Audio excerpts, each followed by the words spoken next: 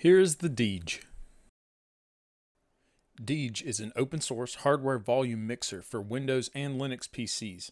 It lets you use real sliders to seamlessly control the volume of different applications in your Windows volume mixer. You can also control recording devices like your microphone. In today's video, I'll be building a 3D printed Arduino powered Deej mixer, so stay tuned.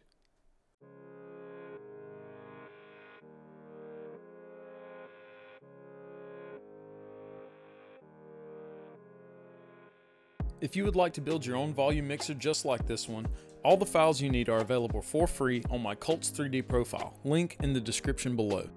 To assemble this enclosure, you will need one top piece, one bottom piece, eight of these small clips, four fader knobs, and four potentiometer knobs. To hold everything together, I'll be using some of these melt-in inserts as well as some M3 cap bolts. For the electronics, I'll be using four of these 60mm slide potentiometers and four rotary potentiometers. All these potentiometers are linear and 10 kiloohms in value. At the heart of the Deej is an Arduino Pro Micro. Be sure to check the description below this video for a complete parts list. I'm going to start off by preparing the bottom half of the case with the threaded inserts.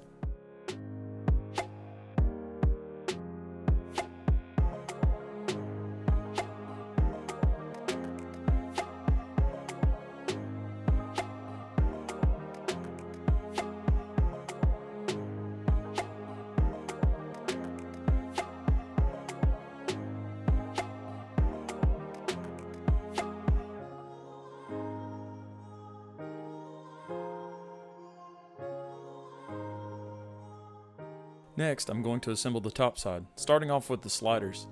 If this installation mechanism looks familiar, you may have seen it in my Stream Deck video.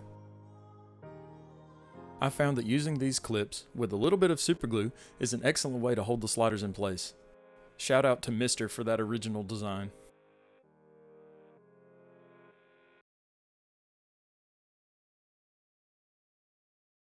While I'm applying this glue, I wanted to take a moment and say thank you. I really appreciate you checking out this video. Please subscribe to my YouTube channel and leave a like on this video if you care to. Please check out my other videos to see what I've been working on. And if you have a cool idea for a future project, leave a comment down below the video.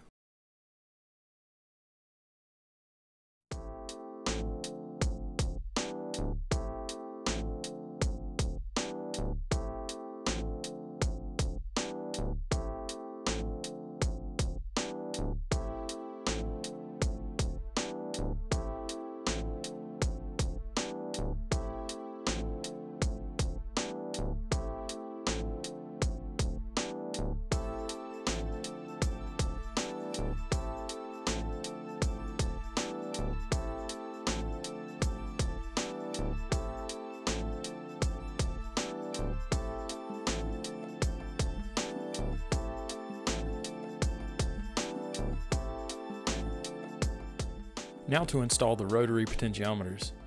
I want to make sure these sit flush against the front of the case, so I'm going to remove this little tab that's on each knob. This can easily be broken off with a pair of pliers.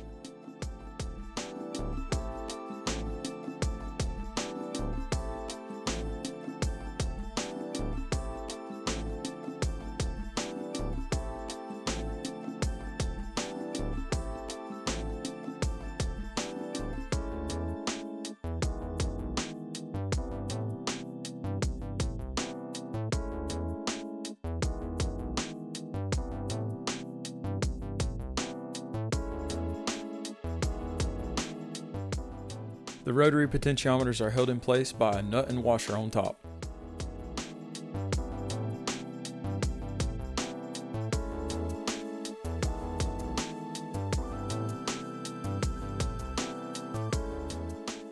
I'm going to go ahead and install the fader knobs. These knobs are 3D printed. The model for these is available for free online.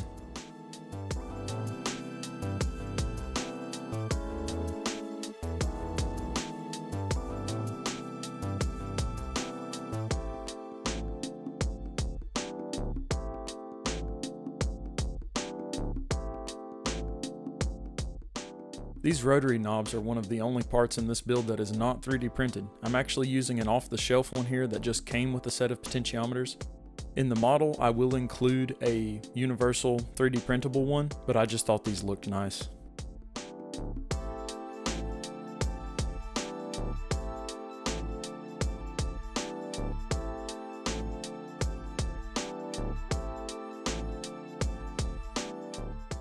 Now that the device is assembled, we can begin wiring. I'm going to start off by connecting the ground pin on each potentiometer using this black wire.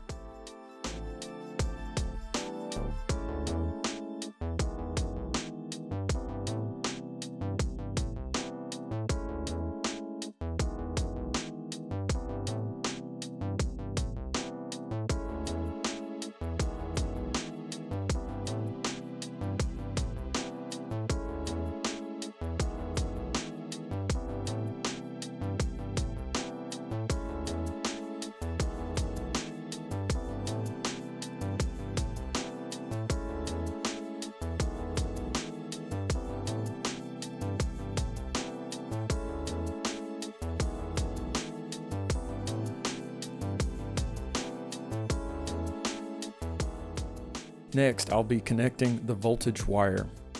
The voltage pin on each of these potentiometers will be connected to the VCC pin on the Arduino using this red piece of wire.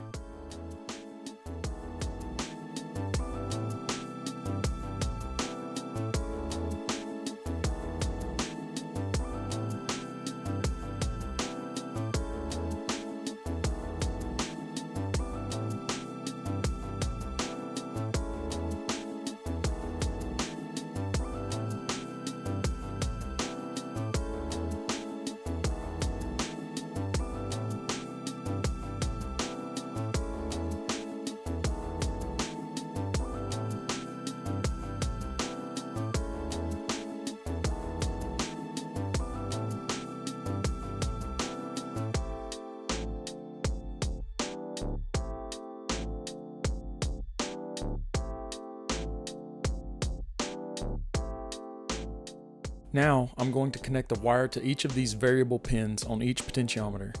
Each of these will be connected to a unique analog pin on the Arduino and be used to read the variable resistance.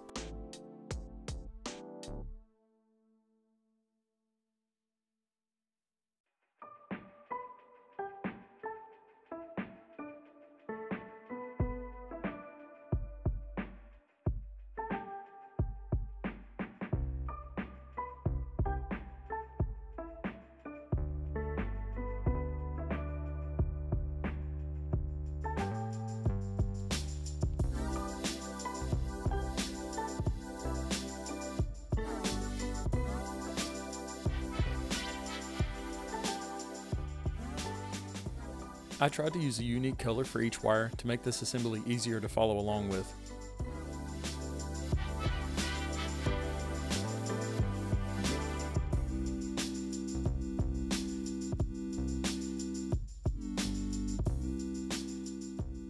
Next, I have to connect the Arduino controller. Connecting this to an Arduino controller is pretty straightforward. The ground wire goes to the ground pin, the VCC wire goes to the VCC pin, and each of the variable resistance pins gets wired to its own analog pin. The Pro Micro has more than enough analog pins for this project.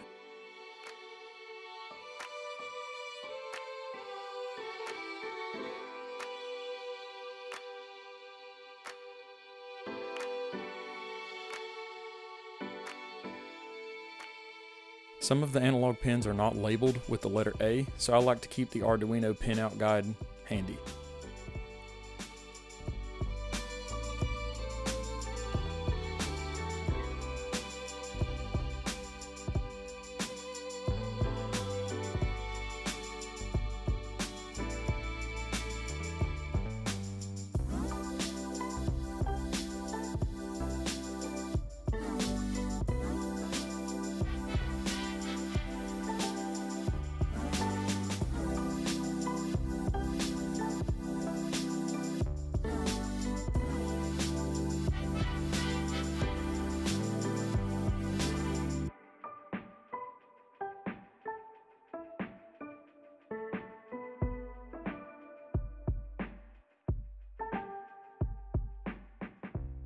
Here's a quick look at the completed wiring.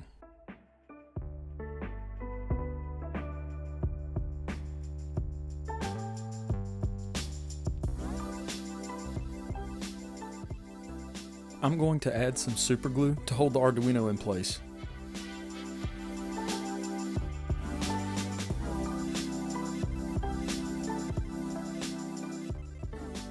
While we're waiting on this glue to dry, why not go check out my Twitch channel? I live stream over there sometimes, so feel free to drop in and say hi. If you enjoy any of my content, go ahead and give me a follow, and you might just catch me working on the next gadget. See me live at twitch.tv slash modulus. That's twitch.tv slash M0DULUS.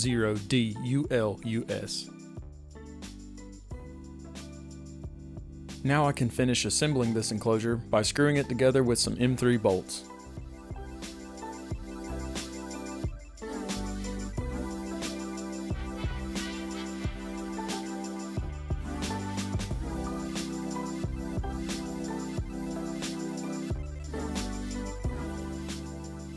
And there it is. I think this thing looks pretty good with the black and red theme. I'm not super crazy about the filament choice, but that could easily be changed out for something else. It's almost time to program. The only other thing that I'm going to do is stick some rubber feet to the back to make sure this thing doesn't slide around on my desk too much.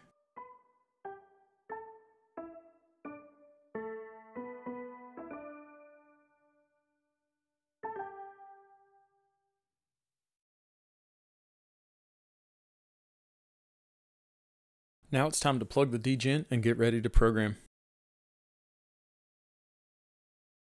First things first, I'm going to head over to the Deej project page and grab the newest version of the Deej project files and the Deej executable. After extracting those files, I'm going to start by opening up the Arduino project. Since my Deej has 8 sliders, I'm going to make sure to change this first value to 8. In the second line, the analog inputs declared must match the analog inputs that are used on the Arduino Pro Micro. Next, this code can be flashed by making sure that the correct board and port are selected in the Tools menu, then selecting the Upload button.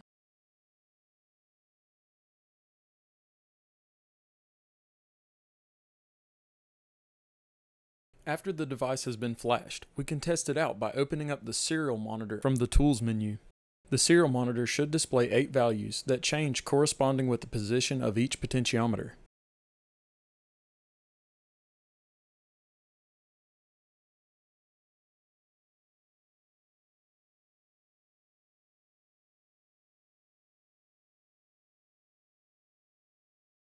Next, we need to configure what programs the Deej can control. By editing the config file included with the Deej files, you can control the function of each slider. When editing this file, you must remember that all process names are case sensitive. You must also set the correct communication port in the config file. This will be the same port that was used during the programming stage in the Arduino project. After saving those changes to the configuration files, it's time to run the Deej application. By default, the Deej application opens to the taskbar, but you can right-click on the icon to change the configuration or rescan for audio sessions. Finally, I'm going to give you a little demonstration of the Deej running on my machine. I currently have mine configured to control a few applications like Spotify and my web browser, as well as the volume of my microphone. Using a desoldering pump. This step could also be done using a spring-loaded desoldering tool or a bulb desoldering tool. makes quick work of desoldering all 64 pins.